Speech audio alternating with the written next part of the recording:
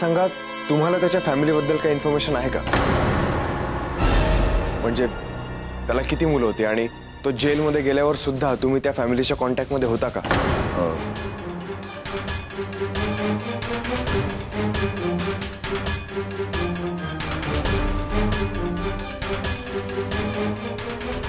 दुष्यंतला बल्लाळच्या कुटुंबाबद्दल नेमकं काय कळलंय?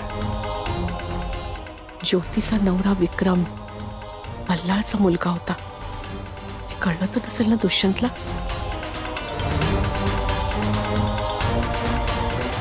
डॅड सांगा ना तुम्हाला त्याच्या फॅमिलीबद्दल काहीही इन्फॉर्मेशन आहे का? अ, नाही. अरे बल्लाळाला पार्टनरशिपमधून काढून टाकल्यावर त्याच्याशी किंवा त्याच्या कुटुंबाशी काहीच कॉन्टॅक्ट नव्हता आमचा. अरे आम्हाला एवढंच माहिती त्याला एक मुलगा आहे. पण त्या मुलाचं ऍक्च्युली नावही नाही आठवते आम्हाला. नाही का हो? मग तुला काय सांगितलं त्या जॅकने दुष्यंत? काय झालं बल्लाच्या कुटुंबाचं जॅक म्हणाला की बल्लाच्या कुटुंबातलं आता कुणीही जिवंत नाही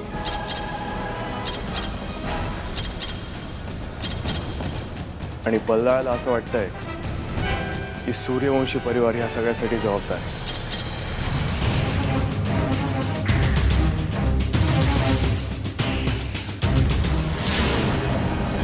आणि मग सगळं ठरल्याप्रमाणे घडत गेलं. राजाचा वापर करून मैथिलीला ब्लॅकमेल केलं. आणि सोनिया बनून मैथिलीने सूर्यवंशींच्या घराचा उंबरा ओलांडला. पण सूर्यवंशींना बर्बाद करण्यासाठी पाठवलेलं आपलं हे हत्यार आता आपल्याच विरोधात उभं राहिलंच आहे आता काय करायचं? काय करायचं? हं? बाबतीत जे काही घडलं त्याकरता फक्त तोच जबाबदार आहे. मी नाही. त्यांनी जे पेरलं तेच उगवतंय. अजूनही धडा शिकला नाहीये तो. ऑफकोर्स डॅड आय नो तो जो काही आरोप करतोय तो बेसलेस आहे डॅड पण त्याच्या बाबतीत जे काही घडतंय त्यासाठी तो आपल्याला का जबाबदार धरतोय? आणि त्या सगळ्यामध्ये दादाचा काय दोष आहे? सांगतो. सुहासिनीच्या वडिलांच्या कन्स्ट्रक्शन बिझनेससाठी जमिनी ताब्यात घेण्याचं काम आम्ही बल्लाळवर सोपवलं होतं. खरं तर त्याकरता लिगल प्रोसिजर्स फॉलो करायचे होते. योग्य कागदपत्र तयार करायची होती. आम्ही लोकांना जमिनीचा योग्य मोबदलाही देत होतो. पण बल्लाळनं त्यात फ्रॉड केला. फ्रॉड काय फ्रॉड केला ते लोकांना द्यायचे पैसे त्याने स्वतः खाल्ले. अरे दुष्यंत लोकांकडनं जमिनीच्या कागदांवरती ज़बरदस्ती सह्या घेतल्या त्यांनी. एकही पैसा न देता जेव्हा हा प्रकार मला मी बल्लाळला सुहासिनीच्या वडिलांसमोर उभं नॅचरली ते चिडले बल्लाळला पार्टनरशिप मधून यामुळे बल्लाळचा एगो दुखावला त्यानं स्वतःची कंपनी सुरू केली, आम्हाला टक्कर देण्यासाठी. योग्य, अयोग्य सगळे मार्ग अवलंबले त्याने, काहीही सोडलं. मला मागे टाकण्याच्या नादात बल्लाळनं पुन्हा एकदा फ्रॉड केला. तो मी पकडून दिला. त्यामुळे बल्लाळला अटक झाली. त्याला जेलमध्ये जावं लागलं. एक्झॅक्टली काय फ्रॉड केला होता त्याने डॅड? आणि हे एकच कारण आहे का? ज्यामुळे तो आपल्या फॅमिलीच्या मागे लागलाय.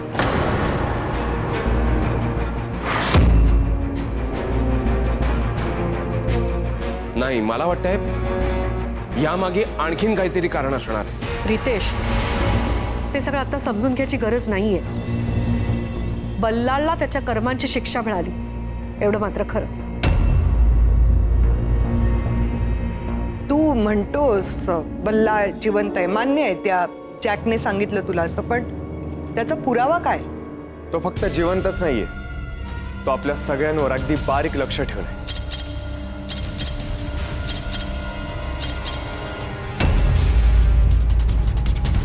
त्या मदनच्या घरून काही इन्फॉर्मेशन मिळते का, हे बघण्यासाठी मी त्याच्या घरी गेलो होतो. तेव्हा त्याच्या घरी कोणी नव्हतं.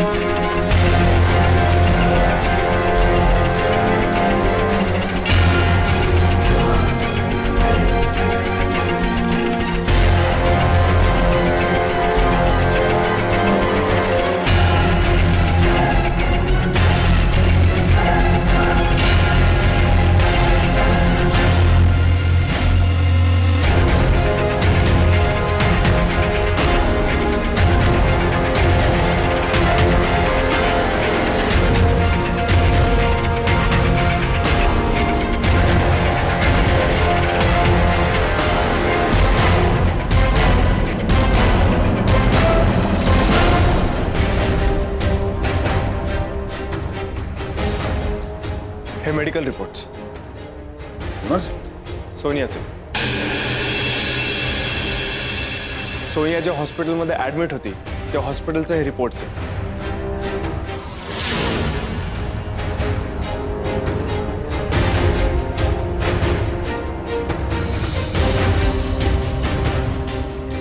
आणि या मेडिकल रिपोर्ट्सच्या कॉपीज मला त्या मदनच्या घरी सापडल्या.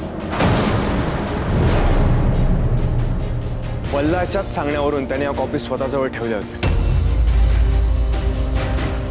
याचा अर्थ आपला अंदाज बरोबर होता. बल्लाळ तेव्हापासून आपल्यावर नज़र ठेवून होता. येस डॅड तुम्हाला आठवतं? जेव्हा सोनिया त्या हॉस्पिटलमध्ये ऍडमिट होती, तेव्हा त्या हॉस्पिटलच्या वॉर्ड बॉयवर हल्ला झाला होता. तो हल्ला सुद्धा त्या बल्लाळनेच केला होता.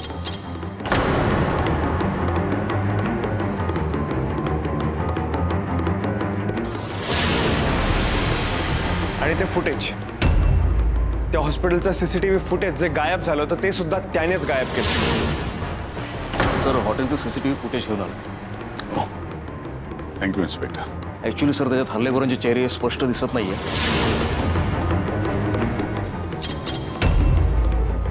आणि एवढंच नाही.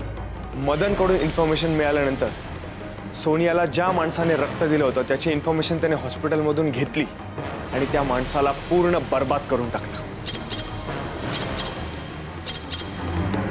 काय किती कोल्ड ब्लडेड माणूस आहे हा. एक्झॅक्टली त्याच्यामुळे सोनिया म्हणजेच सूर्यवंशी घराण्याची सून वाचली. म्हणून त्या माणसावर राग. आणि इतका राग की आज तो माणूस रस्त्यावर आलाय. मी रक्त दिलं म्हणून तू वाचलीस.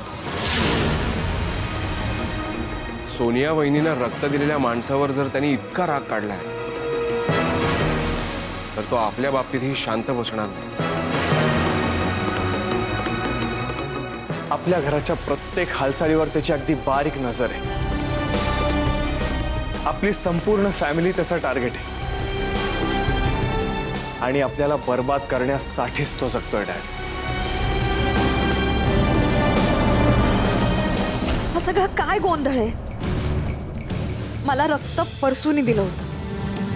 आणि दुष्यंत म्हणतात, बल्लाळने त्या माणसाला बर्बाद केलंय.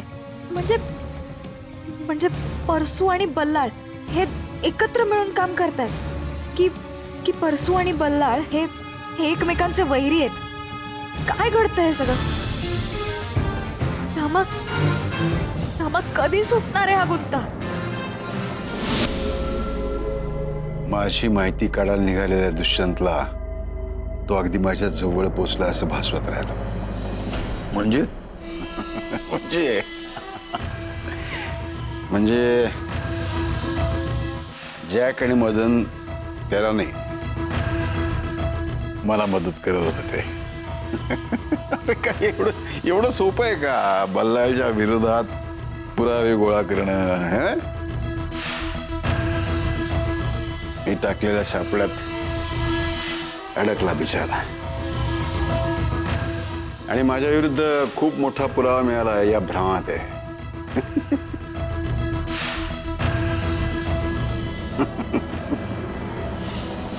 आता समजेल. बल्लाळ त्याच्या घराजवळच नाही तर मनात आणलं तर त्यांच्या घरात देखील पोचू शकतो.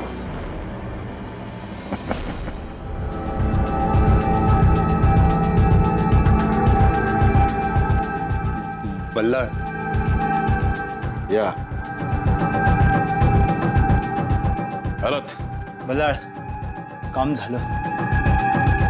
मदन. दुष्यंतनं ती हॉस्पिटलची कागदपत्र नेली हो। जॅक मी जे पडवलं होतं तेच बोललास ना दुष्यंतशी हो तू जे सांगितलं होतं तेच सांगितलं त्याला. यावेळेला दगा दिला नाहीस ना? नाही. Believe me god promise good good या चांगल्या कामाचा तुम्हाला मोबदला मिळालाच पाहिजे. नको तुझ्याकडून पैसे घेणार नाही आम्ही. अरे पैसे कोण देतं तुम्हाला हा?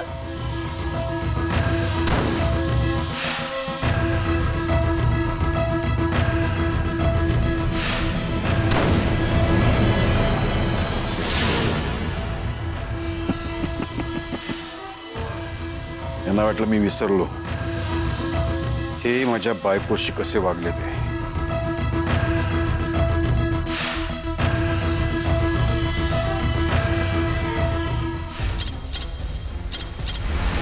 बल्लाळ, कधीच काही विसरत नाही. आता मोठा खेळ सुरू होतोय. सूर्यवंशींच्या बर्बादीचा खेळ.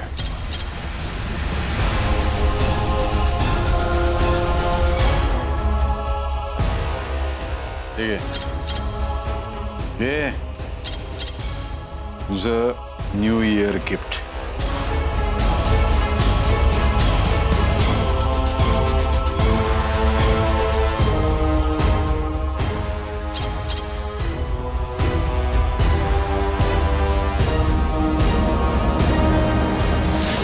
याचा अर्थ आता बल्लाळ आपल्या फॅमिलीला कधीही टार्गेट करू शकतो आपण नाही त्याला टार्गेट करू द्यायचं आपापसातलं प्रेम प्रामाणिकपणा. मेहनतीच्या जोरावरती या घराच्या भिंती उभ्या आहेत. बल्लाळ सारखा माणूस आपलं काहीही वाकडं नाही करू शकणार. सुहासिनी बरोबर बोलतेस तू. बल्लाळला घाबरून जगण्याची काही एक गरज नाहीये. नाही तर काय? उद्या मकर संक्रांत आहे. मी ऑलरेडी हळदी कुंकवाचा कार्यक्रम प्लॅन केलाय. सोनिया? एकदम जोमाने तयारी करायची. काय? हो आई. इतक्या दिवसांनी दुष्यंत घरी परत आलाय. रितेशशी सुखरूप परत आला एवढ्या मोठ्या संकटातून. सगळं चांगलं होत आहे आपल्या घरात. अशा वेळी बल्लाळचं सावट आपण आपल्या सणावरती नाही येऊ द्यायचं.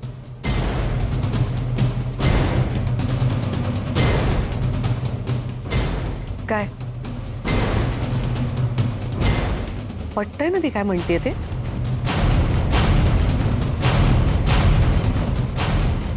त्या बल्लाळला घाबरून का त्याचा सामना करायला सज्ज त्याचा सामना करायचा.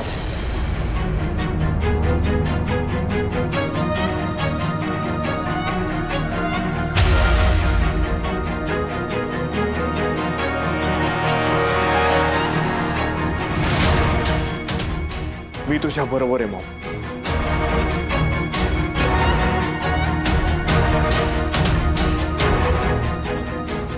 बल्लाळने जर आपल्या घरावर वाईट नजर टाकली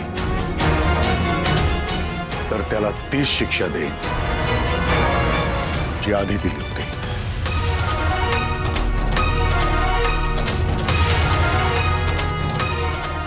आता यापुढे दहा बल्लाळ जरी आले, तरी आपलं हे घर खंबीरपणे त्यांना सामोरं जाईल.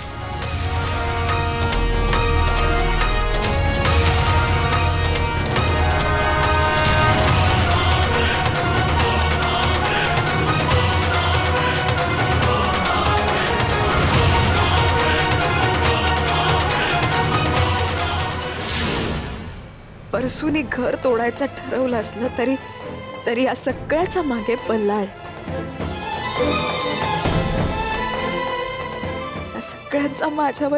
विश्वास आहे. कसं सांगू? कसं सांगू यांना? मला सोनिया बनवून त्याच परसूनी हे घर उद्ध्वस्त करायला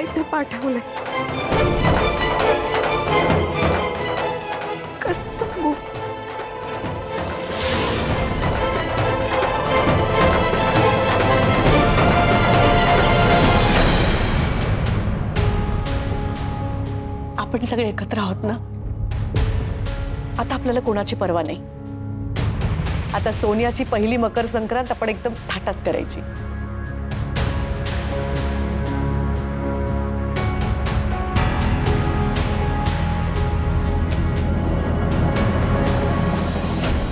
साहेब!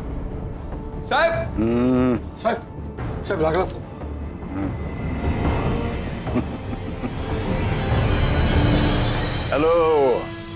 बळवंत बल्लाळ बोलतोय हम्म. पुढची तयारी सुरू करा सूर्यवंशींच्या घरावरती संक्रांत आणायची आहे संक्रांत आणायची आहे, संक्रांत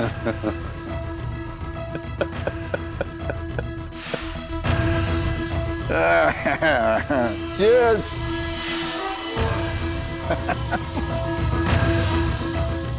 Ah.